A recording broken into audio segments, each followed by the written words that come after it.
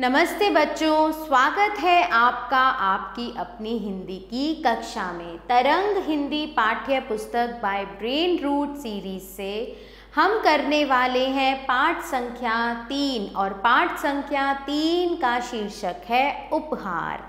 सबको अच्छे लगते हैं उपहार?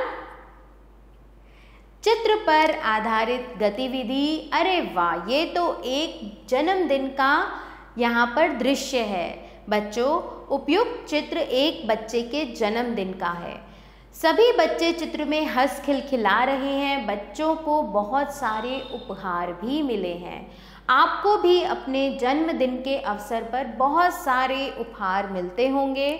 आपको सबसे ज़्यादा किसका उपहार पसंद आता है? बचपन से आज तक आपको जितने भी उपहार मिले हैं, उन सब की सूची बनाओ।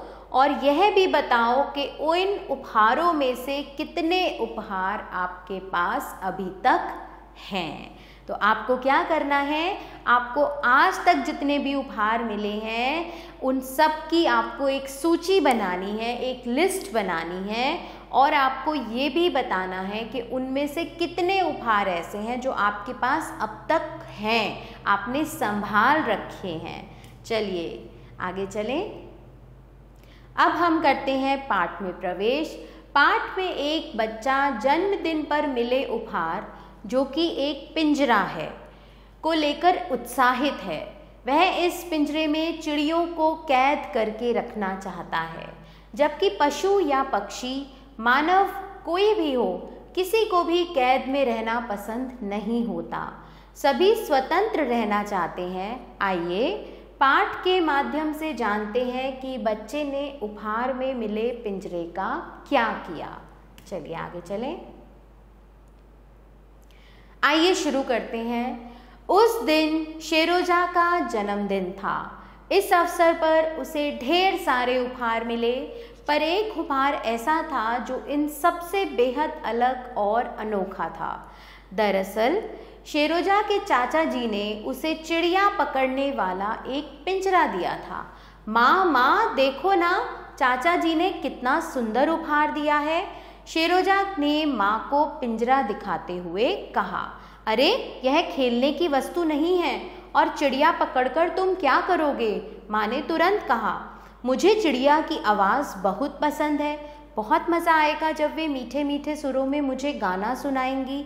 हाँ उन्हें पिंजरे में यूँ ही नहीं रखूँगा, उनकी पूरी देखभाल भी करूँगा।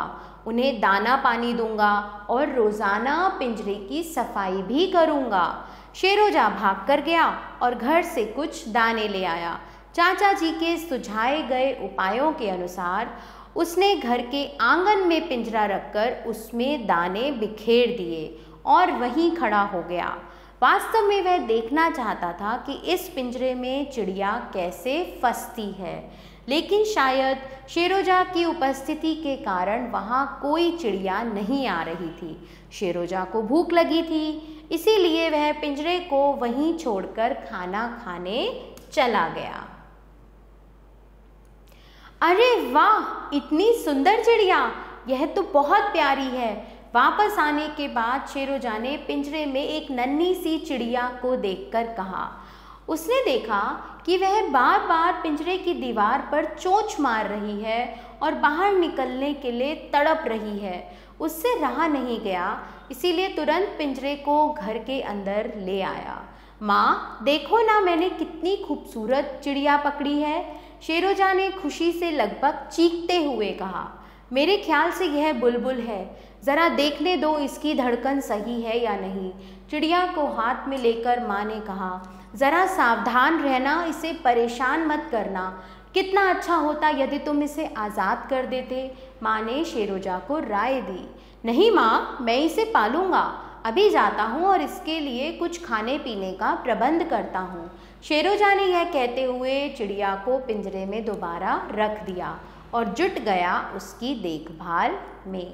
शेरोजा ने दो दिन तक लगातार उस नन्ही सी चिड़िया की अच्छी देखभाल की, लेकिन तीसरे दिन से जैसे चिड़िया में उसकी दिलचस्पी कम हो गई। पिंजरा बेहद गंदा हो चुका था। उसमें रखा पानी भी गंदा हो चुका था।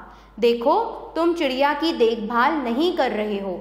अब भी समझ जाओ शेरोजा, बेहतर होगा तुम इसे आज़ाद कर दो।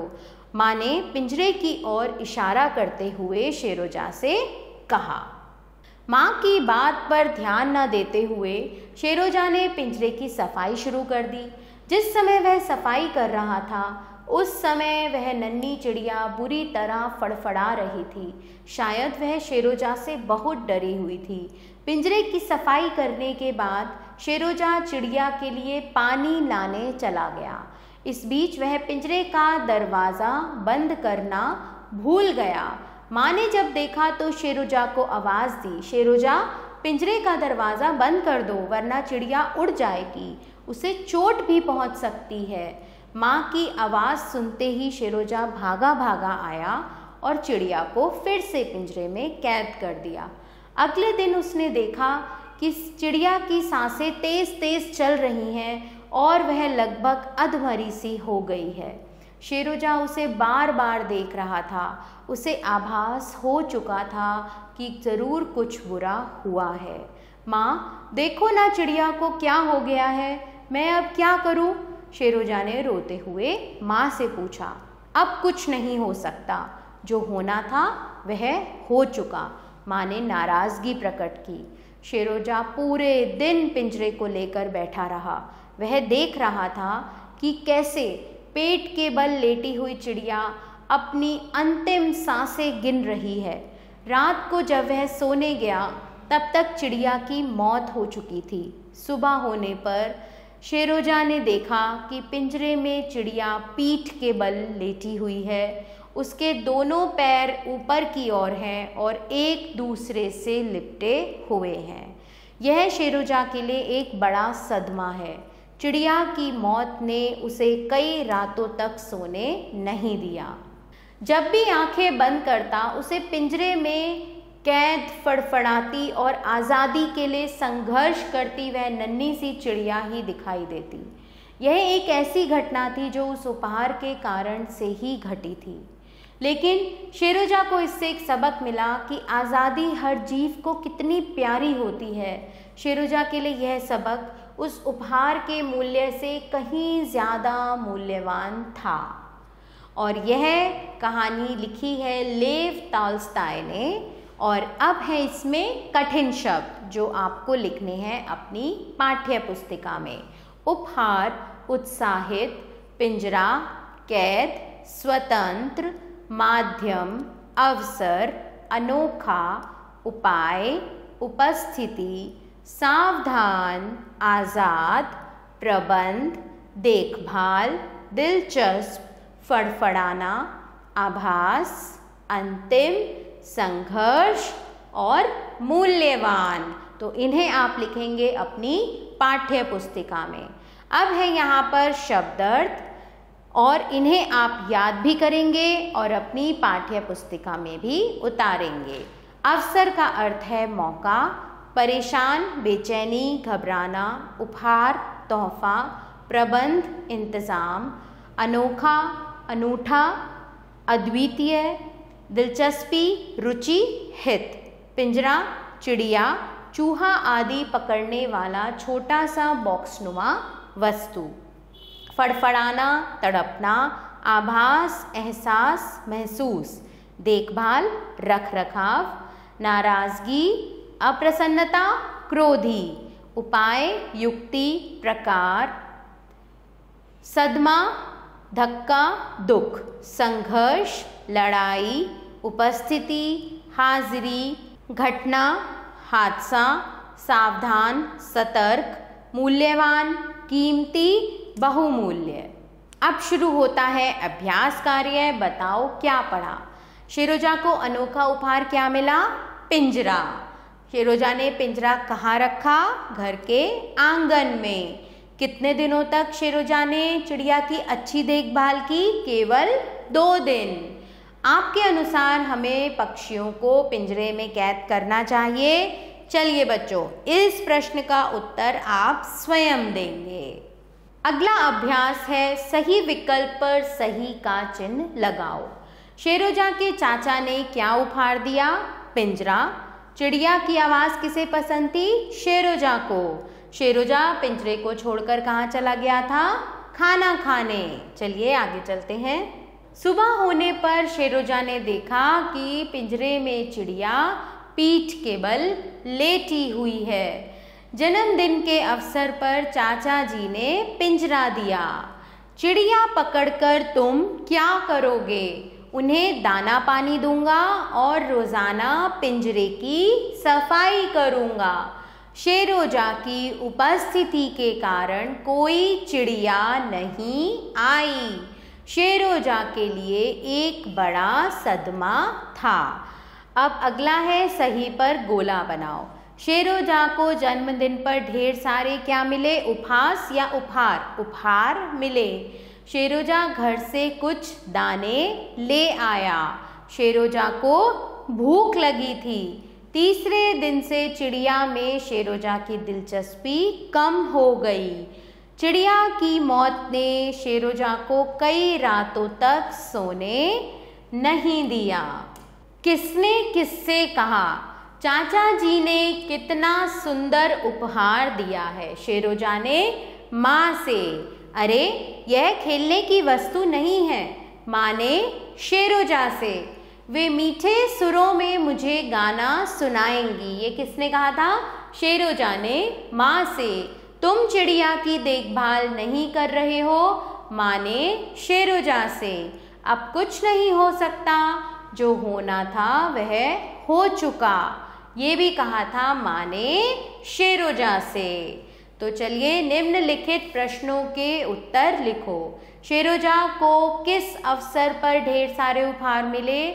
शेरोजा को उसके जन्मदिन पर ढेर सारे उपहार मिले। पिंजरा पाकर शेरोजा प्रसन्न क्यों था? पिंजरा पाकर शेरोजा इसीलिए प्रसन्न था कि अब वह ढेर सारी चिड़िया पकड़ सकता था। जब शेरोजा से माँ ने चिड़िया पकड़ने की वजह पूछी तो उसने क्या उत्तर दिया? जब शेरोजा से माँ ने चिड़िया पकड़ने की वजह पूछी तो शेरोजा ने कहा कि उसे चिड़िया की आवाज़ बहुत पसंद है, उसे बहुत अच्छा लगेगा जब वह उसे मीठे मीठे स्वर में गाना सुनाएँगी। चिड़िया को फंसाने के लिए शेरोजा ने क्या किया? चिड़िया को फंसाने के लिए शेरोजा ने चाचा ने, चाचा जी ने जो सुझाव दिए थे उनके अनुसार पिंजरे को घर के आँगन में रख दिया और उसमें कुछ दाने बिखेर दिए और चिड़िया के आने की प्रतीक्षा करने लगा। पिंजरे का दरवाज़ा खुला देखकर माँ ने क्या कहा? पिंजरे का दरवाज़ा खुला देखकर माँ ने कहा, शेरोजा, पिंजरे का दरवाज़ा बंद कर दो, वरना चिड़िया उड़ जाएगी और उसे चोट भी लग सकती है। शेरोजा कई रातों तक सो क्यों नहीं पाया? जैसे ही शेरोजा रात को सोने की कोशिश करता था, उसे पिंजरे में फड़फड़ाती चिड़िया दिखाई देती थी। चिड़िया की मौत शेरोजा के लिए एक बहुत बड़ा सदमा था। शेरोजा को क्या सबक मिला? शेरोजा को उस उपहार के बदले यह सबक मिला कि आज़ादी हर जीव को प्यारी होती है। पशु हो, पक्षी हो या मानव जाति हो, आज़ादी पर सबका अधिकार है। हमें किसी को भी कैद करके नहीं रखना चाहिए। तो आशा करती हूँ बच्चों कि अब आपको ये पाठ अच्छे से समझ में आ गया होगा। आभार, मिलते हैं नए पाठ के साथ।